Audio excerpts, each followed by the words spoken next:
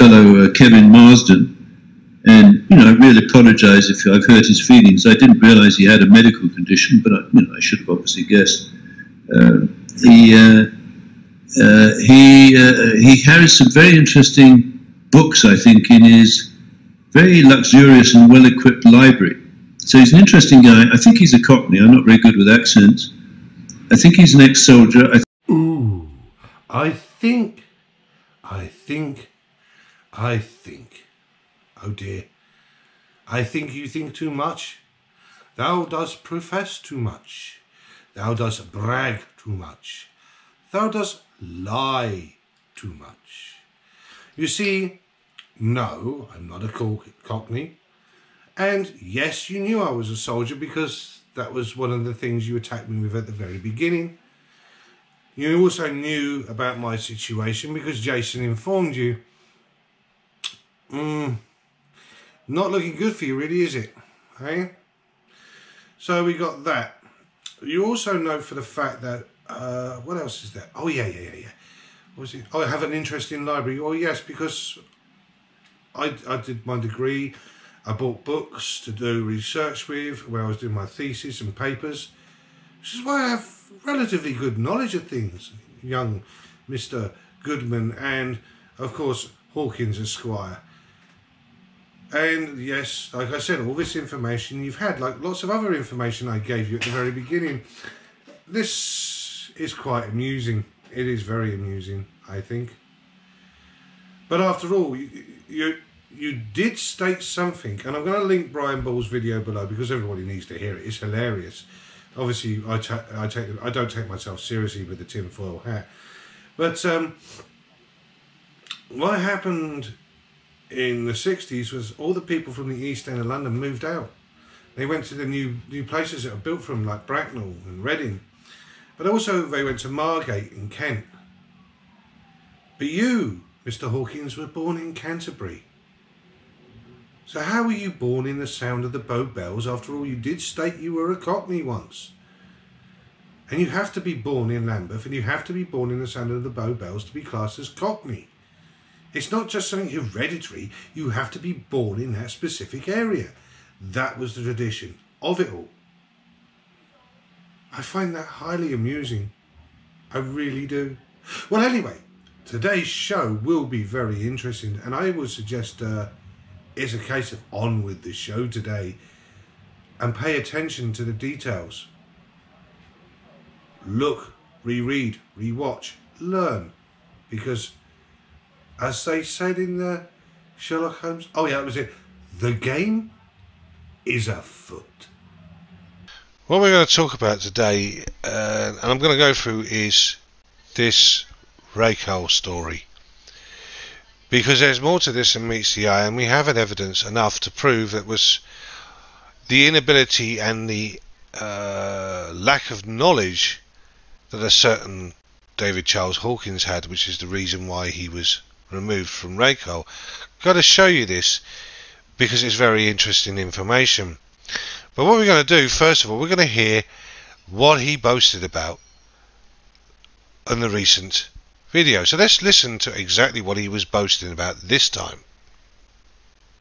And it was hooked up. Now, let me roll the clock back to the 1980s. Arrogantly or otherwise, I claim I built the world's most powerful interface or dashboard or cockpit or template, if you will, into big data for the oil industry. Starting in 1981, when I was taken was on, I was transferred out of Nigeria. Uh, this was at the uh, uh, Schlumberger um, Research Center in Ridgefield, Connecticut, and I became the coordinator of artificial intelligence and geoscience research. And I worked with a man called Luc Steels, brilliant individual. He had a double PhD in computational linguistics. And I articulated to Luc Steels how I thought human experts interpreted big data in the oil industry. And I asked him if he could build a system that could simulate experts working on big data. So we built a basically a pilot system or proof of concept at Ridgefield. I didn't get the support I felt I needed from uh, Schlumberger. So I quit, went back to the UK, and I started work under a private venture with Racal Defense Electronics to try and build a system that I knew I could build, having built the proof of concept at Schlumberger. Uh, was this was this Hesper, David? Yeah, so I, that was the paper I wrote at. Was this Hesper, David? No, it wasn't Hesper at all, was it, David? No, no, no, no. Hesper came about well afterwards, 1987, 1988, which was to do with Britoil. But we could go that another day. What we got here is the International Journal uh, of Man-Machine Analysis of Expert Thinking by David Hawkins. Uh, January 1983 it was published. But let's first of all, let's go to Mr. Luc Steele. Luc Steele is one of the most prolific and forward thinking people in the field of AI. I say this because when you read his bio, it's incredible. But here we have him in 1980, researcher at Schlumberger Doll Research Labs, a geophysical measurement company. So this is why Hawkins was at Ridgefield because Hawkins was dealing in geophysics because he was a wireliner. He was dealing with data that was collected from uh, the, the logging systems that they worked on. So we have it there in 1980, but more importantly, Luc Steele was the leader of the Geophysical Expert Systems Group. So, in other words, the person in charge was Luc Steele. Again, here's another paper by Luc Steele, but uh, let's have a look at some of his uh, outstanding credentials. He founded the Sony Computer Science Laboratory in Paris in 1996 and became the first director. Currently, currently he is an ICREA research professor at the Institute of Evolutionary Biology, CSIC-UPF. Steels has participated in dozens of large-scale European projects and more than 30 PhD theses have been granted under his direction. He has produced, wait for it, over 200 articles and edited 15 books directly related to his research. During the past decade, he has focused on the theories for the origins and the evolution of language using computer simulations and robotic experiments to discover the testum. Role in scientific organizations. Role in journals. Publications. Research projects.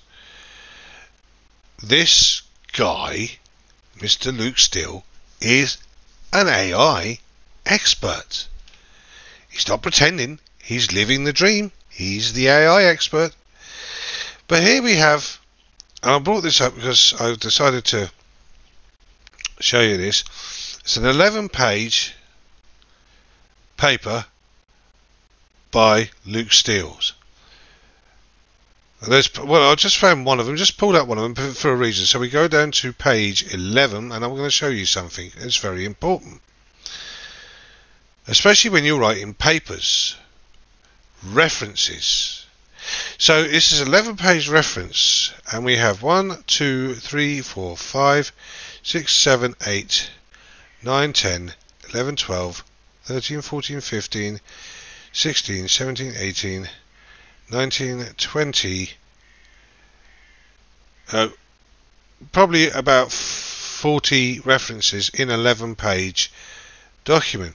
So how do you know it's how to read a reference? Well, for, for a start off, what it tell you is, for instance here, Leve Deal L Spicer A 2013 contests imageries and the cultural, political economy of climate change organizations 20 bracket 5 659 to 678 so between pages 659 and 678 is the information.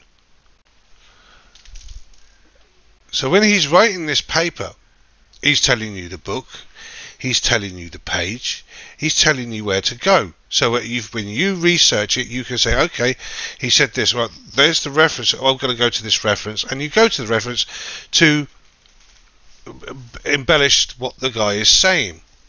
You probably can't read it, so you, I'll link it below so you can see for yourselves. What's more important to me is this. Analysis of Expert Thinking David Hawkins, 1983. There's the basic abstract of it, but I found David Hawkins, Ridgefield, Connecticut, July 15th, 1981. So it says July 15th, 18, uh, 1981. Publication date 1981, 10th of the 10th. But we have publication date, uh, publication date January 1983. So there's a slight discrepancy here, and there's obviously somebody will have an answer to that. I'm sure they will. But more importantly, I've come to the references. This is his references. I know these are his references because there's four of them. A Study in Scarlet by Sir Arthur Conan Doyle. No page, no reference, no whatever. Webster's New College Dictionary. No pages, no what? What? What from there? Glossary of Geology. What, where did you, what did you get from there? Where was the pages? Where's the information you got it from? Harvey Blatt, Gerald Milton, Raymond Murray, Origin of Sedimentary Rocks. Yeah, great. How big's the book? It could be 400 pages long, and you've taken, say, for instance, from page 85, but there's no reference to that. But surely, Kevin, surely he hasn't. It's, it's just that. Huh? Well, let's go to the main pages at the beginning and let's go to page 3 which is the thing there. So acknowledgement references. Uh, do we have a bibliography? No we don't have a bibliography. It's just references. It's four references. That's it. Of a 70 page or 47 page document. With four references that you can't research anything from it. It shows that, that, this, that he has no idea how to write an academic paper for a start off. So there shows another flaw in this whole story of Hawkins. It shows his inept uh, ability not to understand how to write a paper. Expert system enhances the commitment oil and gas industry. So that's important. We, we need to know that the oil and gas industry is still using uh, expert systems. Petroleum Audit Expert Engines, another one there. And of course, putting expert systems to work, 1988. So we got another, you know, another part there talking about expert systems in the oil and so this is big in the oil oil industry. I want to go back to he means to help reverse Britain's drain of computer talent. Now this article is very skewed and I'm going to show you why.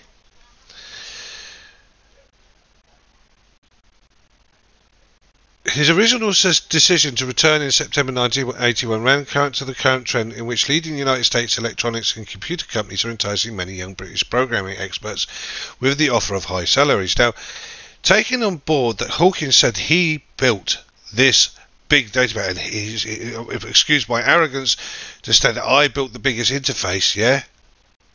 He would be like rocking horse gold. He was he would be he, there there would be offers coming at him right, left, and centre because this was a big thing in the 80s. Doesn't talk about that, does he? No. So back in 1981, Hawkins telephoned Sir Ernest Harrison, boss of Racal, one of Britain's top electronic companies. Hawkins persuaded Harrison to set up a division of the company to specialise in artificial intelligence, with Hawkins as the head. So according to this document, Hawkins persuaded Harrison into creating this department, which he ran he ran as the managing director. For two years, Hawkins, with a team of nine, worked away on special computer programs for the oil industry. With these programs called expert systems, non-oiler specialists, blah blah blah. Events didn't quite work out the way Hawkins expected. Racal decided it did not want to sell these systems, so he said that Racal ditched the oil field expert system side of things. Is that true? We'll find out. That didn't satisfy Hawkins, who's left to start afresh a new company, Oilfield Expert Systems, which we can go into. He also talks how he's in allegiance with this guy from Burgess Hill. But this is the sentence here. I left Racal amicably, says Hawkins. We both decided to concentrate on the areas that we knew best. Ah. But in 2010, a few changes appear again. And this was in that Washington Examiner, which is the dog not barking, which comes from a study in Scarlet, the Arthur Conan Doyle book, which is the short story of Sherlock Holmes. Hawkins said he resigned from Schlumberger in the 1980s after the company stopped promoting people with oil industry experience to its top management ranks and started parachuting in hedge fund managers, attorneys, and accountants to run the company instead. But hang on a minute, Hawkins said he was in charge of this organisation at Schlumberger, so he's high up, running this department with these people underneath him. Things don't add up here, really, do they, chap? Hey, Hawkins, things are not really adding up too well here. So, here we have the article, A New Scientist in July 1982, when Hawkins first started out. David Hawkins, who used to work in the US for the oil, uh, oil service firm Schlumberger itself and much interested in expert systems, has returned to the UK to run Racal-Decca's new business. He hopes to employ about 15 computer specialists by next year on expert systems. That was in 1982. Let's go forward a year, shall we? And this one was written New Scientist, 28th of July 1983. A year later. Racal Expert Systems started up last year after David Hawking, now the firm's managing director, grew restless in his job in the US. He made a transatlantic telephone call to Sir Ernest Harrison, boss of the Racal-Decca Electronics Group, asking for support in setting up an advanced computer company. So the original idea was Hawkins wanted a backer to his new idea of computer company, but instead Sir Ernest responded authorising an investment of nearly half a million in a division of his electronics combine that's, that has still to sell a product. So in other words, for a whole year, they spent half a million on jack shit. Nothing. Diddly squat. Nada. Zip. Nothing. The Department of Industry, now Trade Industry, also chipped in with a grant of £230,000. That's British taxpayers' money that Hawkins stole.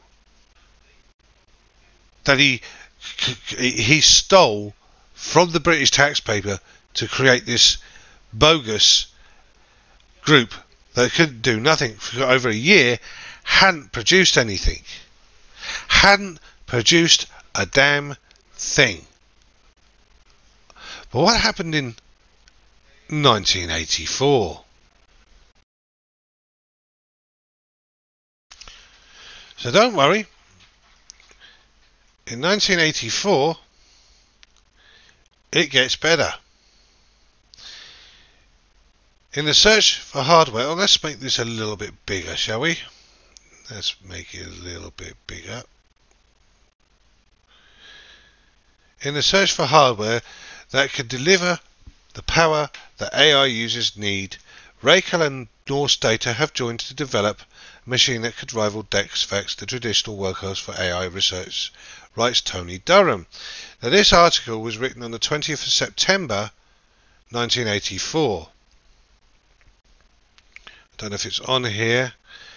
But if you go to Brian Ball's site, you'll see it there. It'll tell you exactly where it's come from. But I want to read the first paragraph. Following a disastrous attempt to sell expert systems to an unresponsive oil industry, the Racal Group is launching a fresh attack on the artificial intelligence market, this time with hardware and programming tools. One lesson the UK Electronics and Communications Group learned from the Racal Expert Systems failure. Let's read that again. One lesson the UK Electronics and Communications Group learned from the Racal Expert Systems failure was that running a large knowledge based system can bring a supposedly powerful computer to its knees. So, in search of hardware that could take the strain, Racal approached Norwegian computer maker Norsk Data. The two firms have launched a 1 million joint venture with Racal holding 51% of the shares. So, basically, if you go to uh, uh, Brian Ball's site, and I'll link it below, the, the video you need to watch, explains this quite clearly. Hawkins was using uh, uh, sim, sim, symbiotic, I keep saying the word symbiotic, sim, symbolic computers, LM2 Lisp. These only had one megabyte of memory. Later on, when Hawkins created his firm, uh, Oilfield Expert Systems Limited, they used sim, uh, Symbolics 3, uh, 3600, which were the size of a fridge because it needed the memory capacity. He was using an office computer to try and create this. So, in other words, Hawkins didn't build anything because if he had built it, like he said in America at Schlumberger, he would have been able to recreate it by saying, This is what I need, boom, boom, boom, boom, boom, and this is what you get, boom, boom, boom, boom, boom. He didn't do that because Hawkins didn't have a clue. What Hawkins was trying to do was blag his way through it by using the brains of the computer guys, the computer science guys that were attached to him in his department to build it. And they only produced 2,000 word, uh, 2,000 lines of code because they did not know how to use Lisp. They weren't Lisp centric. Uh, you really, really, really, really can't make this up. So we have that.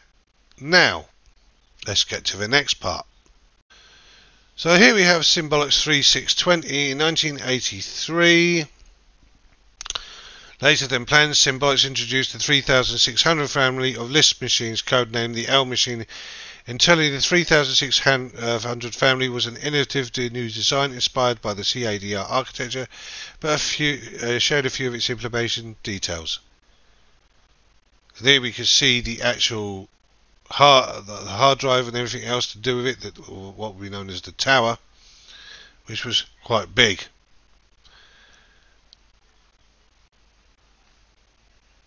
So the 3600 was the size of a fridge. So we now know that Hawkins learned that the, the, the computers he was using, a Racal, wouldn't do the job. They they didn't have the memory. They didn't have the capability. But here's a guy who calls himself this expert, and he would have known this. He would have understood how much memory you would have needed. This is why people like Luc Steele are the experts. Which reminds me, ah, that's right. I will. I'm going to find this guy's email address and I'm going to contact him, and we'll get this cleared up once and for all. We'll get the full story of why Hawkins left Schlumberger. Because that's another interesting factor here. I think that should be quite an interesting email if he responds back. Let's hope he does. Not guaranteeing it, but let's hope he does. So anyway, let's look at this one. Special Operations Executive. You see, in this video, Hawkins also goes on about the Special Operations exec Executive and stating that Lord Rothschild was the guy running it. Lord Rothschild, this, that, and the other. Now, I'm going to give you two documents here. That one, and it's special from the uh, National Army Museum, Special Forces Operations Executive, and Brigadier Colin Gibbon, Gubbins, who was a commander, was the, the director, and Doctor, what was his name? Doctor, Doctor, Doctor, Doctor, Doctor, Doctor, who was in charge of the Doctor Dalton, who headed the Ministry of Economic Warfare, but was not a member of the War Cabinet, which would have given him given greater access to Churchill initially due to it. So he was that guy there. So he had Doctor Dalton and Gubbins. So those are the two we know about. Well, let's talk about also OSS. A prime a special operations person detachment of the Office of Strategic Services. Here it will tell you the story of how the OSS was formed. You won't see the name Sir Lord uh, Lord Rothschild involved in it, but you will see this name, Allen W. Dulles. Those who know anything will know exactly who he was and what he did. So, here's my challenge to both Hawkins and Goodman.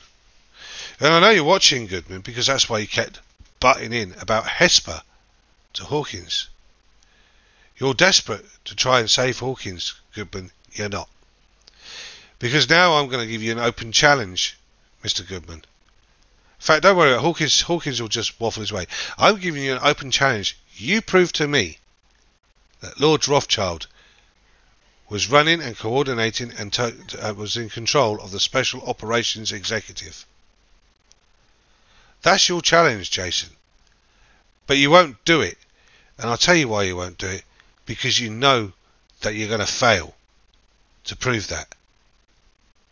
And what's more importantly, it's not going to look good for your brand. And your brand is going down the toilet. More and more, you have this idiot Hawkins on. Because I can just tear apart everything and anything he's saying, because I'll do it with documented proof as you've seen with this video, because I know you watch Goodman. I know you do because you're the guy that puts the thumb down. It's a sort of pathetic, childish thing you do. So there's your challenge. As you can see, Hawkins didn't build the computers, though Luc Steele did, and I am going to be contacting Luc Steele. But you could also contact Luc Steele, and you can get it first hand yourself you could get the evidence as well. Wouldn't that be interesting? Bet you don't.